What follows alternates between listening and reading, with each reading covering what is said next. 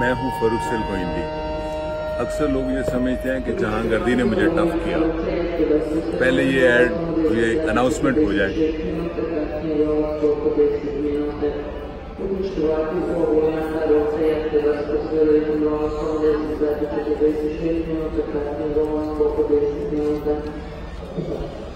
तो लोग ये समझते हैं कि जहांगर्दी ने मुझे टफ किया। नहीं, मुझे टफ किया है मेरे पॉलिटिकल एक्टिविज्म ने, जहद मुसलसिल से ने, जो सियासी जदोजहद करते हैं।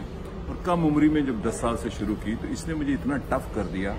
और एक इनकलाबी सोचने ने मुझे ये ऐसी शख्सियत बनने पे मजबूर किया कि सब कुछ मुमकिन है, करना चाहिए। ना हो तो फिर अलहदा बात है, लेकिन जदोजहद करनी चाहिए।